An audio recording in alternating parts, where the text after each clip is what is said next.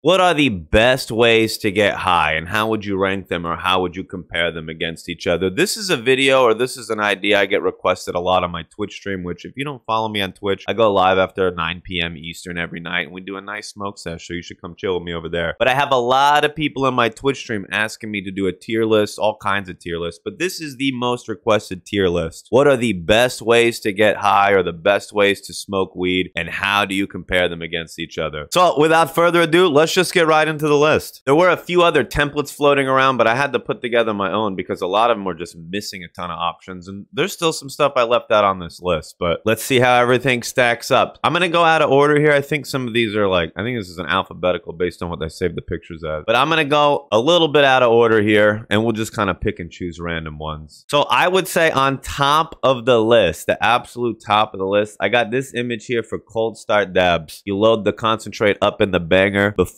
you heat it. Compared to a regular dab, it's faster. It's easier, it's more fuel efficient. Cold start dabs are the best way to get high. Most e-rigs, a lot of other things do cold start hits, so they're up there. They're pretty good. But a cold start dab off of a quartz banger is hard to beat. That is top of the list. That is the best. Let's get that out of the way. We already know that that's the best. There's other types of nails though, like ceramic and titanium. Maybe don't do as well with the quartz, but this is cold start off a quartz banger. See, there's so many things you could add to the list. I could have dabs off of different types of nails, dabs at low temps dabs at high temps. So there's so many ways to do this, but let's just run with it. All right, the blunts, I got to get it out of the way. Poop tier.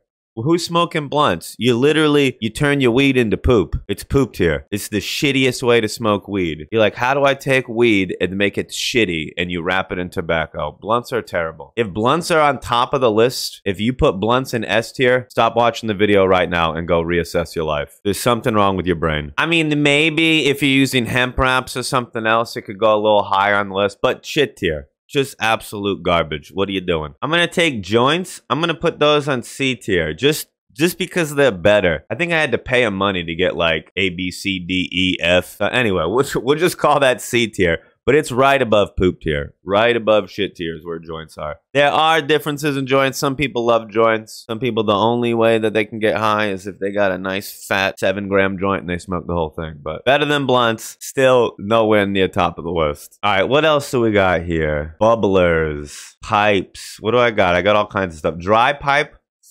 Damn. All right, let's do dry pipe. Dry pipe is it's is so bad. I, I who likes dry pipes? I used to love them. There's some really great glass work or uh, great artwork out there. There's a ton of cool pieces. I have a few cool ones, but holy fuck, it's a dry pipe. They're hot. You have like a 40% chance of pulling hot ash and hot embers into your throat, and it's hot. Did I mention that they're hot? Dry pipes are hot. Okay, bubbler. We got the bubbler on the list. I'd put that above a dry pipe. I'd say it's basically a dry pipe with water percolation. Bubblers are a little bit annoying to manage unless you have a removable bowl, but like cleaning the bowl out with a pipe, you want to flip it over and dump it out and make sure use some gravity to get all the ash out. With a bubbler, if you do that, you just dumped water in all your ash and then you made your next couple of hits a little weird. Bubblers aren't my favorite, but they're definitely better than dry pipes. All right, what else is on the list? Tinctures. Tinctures are actually pretty good. I think tinctures, they gotta be... Is a tincture as bad as a bubbler? I don't use tinctures a lot. I don't get them a lot, but it is one of those methods where you can get a lot of THC in you without having to eat like a bunch of stuff or take a bunch of capsules. Sometimes you can get more potent tinctures, but not all the time. I don't take them all the time. I'll keep those at B tier right now and we'll see if we want to move it around. Edibles. Where do edibles fall? I got a little brownie here. Damn. I'm, I might move this one a little bit based on how I feel. I don't do edibles that much, but you can get like intergalactic levels of high from edibles. I didn't take that many on 420. I think I did bong rips for the first time in a while, but I took like 420 milligrams, some chocolate, some capsules and stuff. I was high the next day when I woke up. Sometimes they just they get you better than you can get yourself with smoking. Edibles, definitely A tier. What else we got on the bong? What else we got on the list here? Bongs. Bong hits. I just did my first bong rips after about 110 days of not smoking on 420. And I'm here to say, if you're hitting out of a freshly clean bong with a clean bowl, down stem, nice warm water, everything, bongs are S tier, bro. You cannot beat a bong rip. Bong rips and cold start dabs are just like, they're so good. Now, if your bong has brown water in it from like three weeks ago and it's filled with ash, it, it goes way down on the list. But we got a fresh, clean piece. S tier. All right, I have a few other methods here I wanted to cover just so we can get an idea. Vape pens. All right. First off, if you only do blinkers out of your vape pen, it's pooped here. You made it pooped here. It wasn't pooped tier, but the method that you choose to hit it, i.e., blinkers, you're making it pooped here. Every time you hit your vape pen, you hold that button down for 10 seconds or so poop tier. But if you're hitting them properly, you're hitting them right, I say B tier. It's a little better than a joint, but it can be worse at times. Most carts have distillate in them, which is like poop tier oil or poop tier dabs, but some of them with live resin, live rosin in the cart, some of them with higher quality oil can hit pretty nice if you're doing little sips on it, little two, three second hits. All right, what else do we got? I'll do this one right after vape pods. Vape pods are very similar to vape pens. However, most of the time they hit a little bit harder. Some of them have more surface area for the heating element for vaping. Sometimes they have partnerships with like G Pen or PAX or other brands that make these pens, so you get a decent quality product. I would say they're better than carts. Pods are overall. It's weird putting them in A tier though. I feel like pods are like a B plus tier and vape pens are like a B minus tier. Like they're they're similar but different. Okay, what else do we got on the list? Gravity bongs. Okay. I have a little bit of a nostalgia factor with gravity bongs. One of the first ways I got high, something I've done plenty of times. It's it's a classic when you fill up a bucket, you chop off the bottom of a water jug, a Gatorade bottle, whatever you're using. There's a little bit of nostalgia with gravity bongs for me. However, the actual hit on it, it's been so trash. It's so bad. You're just filling up a plastic jug with smoke and just letting it get stale. Bro, every gravity bong ever I've taken was like yellow smoke that you just let get stale for a handful of seconds while you're filling it up. Bro, they're always terrible. You get high. You can get super duper high off gravity bong hits, but it's always the worst hit. It's so nasty. It's so terrible. Ugh. B tier. All right. The, high is so good. The nostalgia, bro. How is that B tier? B tier. All right. Um. Okay. We got a few other methods to cover. I want to make sure I get some. I get some variety on the list. THC drinks. Okay.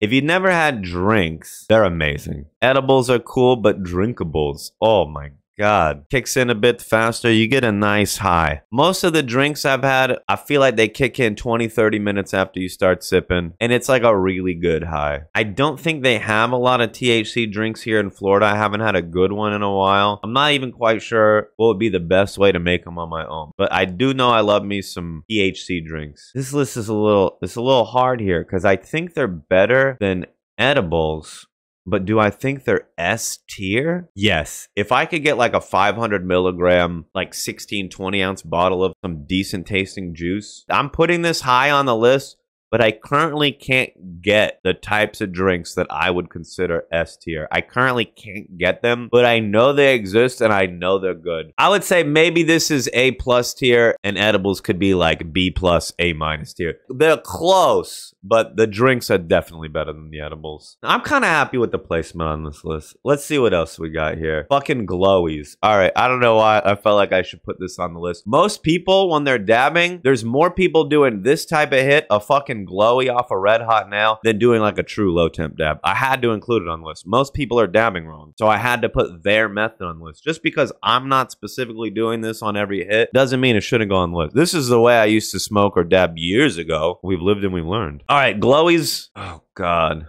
you you're basically combusting your oil instead of vaporizing it. C tier, still better than blunts. Um, all right, the next two are devices essentially. Um, herb vapes, this will be like all encompassing with portables and desktops. And I still got a lot of people telling me, oh, bro, there's still a 6,000 different vapes you haven't tried. Go drop $700 and try this one day. Okay, I don't. I don't have time for all that. Let's do what I think vapes are. I think herb vaping I prefer it over blunts, obviously. I prefer it over it's it's definitely not C tier. I like it better than dry pipes, joints, and glowies. I don't I, it's definitely not A tier. I would say, yeah, B tier. It's kind of in the same realm. I don't use bubblers a lot, tinctures a lot. I don't even use vape pens a lot. But I don't I don't hate anything in this in this B tier. It's not disgusting or it's not my least favorite like fucking blunts. But I'll say B tier. It's not, I made a video about how they could be better. It's not the worst, but I feel like they could get me higher. And last thing on the list is Puffco. Um, I did want to uh, give this one its own specific ranking or whatever. I was going to do all E-rigs, but bro, none of the other E-rigs are close to as good as the Puffco Peak Pro. I haven't used the new Carta yet, but both the Dr. Dabbers, the Boost and the Switch, not as good. I haven't heard anybody talk about the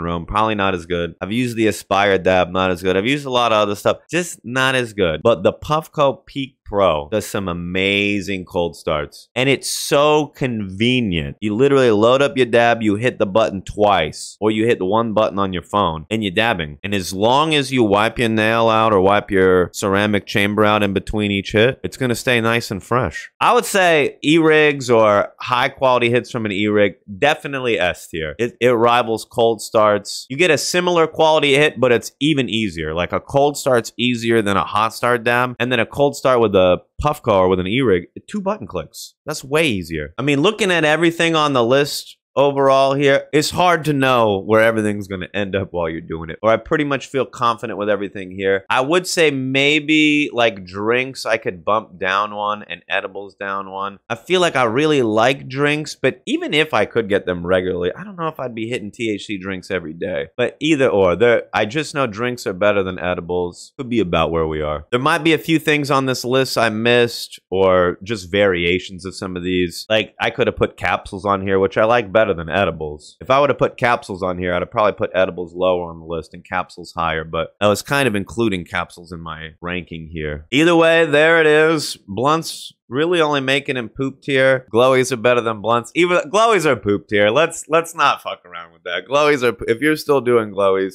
you're doing shitty dabs. Let's just leave it at that. So again, this idea was one of my more requested ideas in my Twitch stream. You should come smoke with me on my Twitch streams. We can't really do sessions on the tubes, but we're probably getting high on Twitch right now. Come join me. If you want to hear about the highest I've ever been, check out this story. I hope you have a lit day, my dudes.